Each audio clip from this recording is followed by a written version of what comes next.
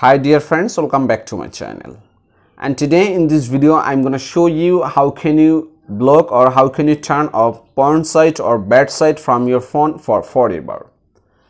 Actually, sometimes we give our phone to our friends, family members or to our child, right?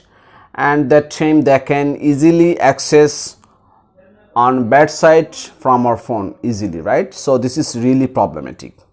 So don't worry in this video I'm going to show you 100% working way. So if you follow my video that time you can easily turn off or you can easily block any kinds of porn site from your phone for forever.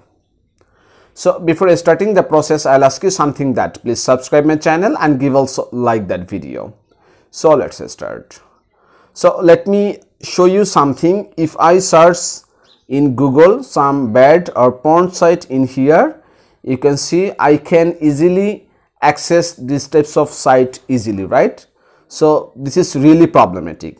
But if you do one setting on your phone that time you will never ever get this this kinds of porn site or bad site from your phone okay?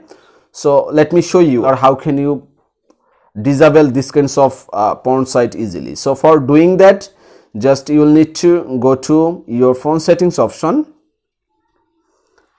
and you can see this is my settings so let me click on it. And after that actually i'm using uh, mi phone so that's why maybe the settings is different. So don't worry i will show you also the easiest way. So let me uh, go to connection and sharing. This is my settings. And after that you can see in here private dns you will need to find on your phone private dns okay? So if you don't get connection and sharing on your phone then there is no problem I'll show you the easiest way. So you can see in here search and settings option in upper level. So just click on it and then search here private DNS. Okay.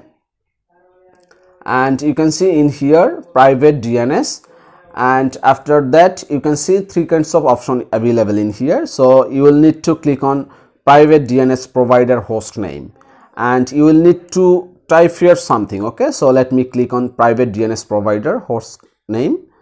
And after that you can see i have just already uh, put this kind of address in here. And you will need to also put this address on your phone. And the address name will be adult hyphen filter adult dns dot clean browsing dot org okay? Just write this name on your private dns okay? And after that just click on the save option in here and again make sure just go to there and you can see I got blue tick in here okay? So after doing all this thing just get back from here and let me show you and let me start again okay? And you will be really surprised. You will never ever be able to see the bad video. And you can see there is no kinds of porn site available in here okay so by this process you can easily block or easily turn off porn site from your phone for forever. So thank you so much for watching this video.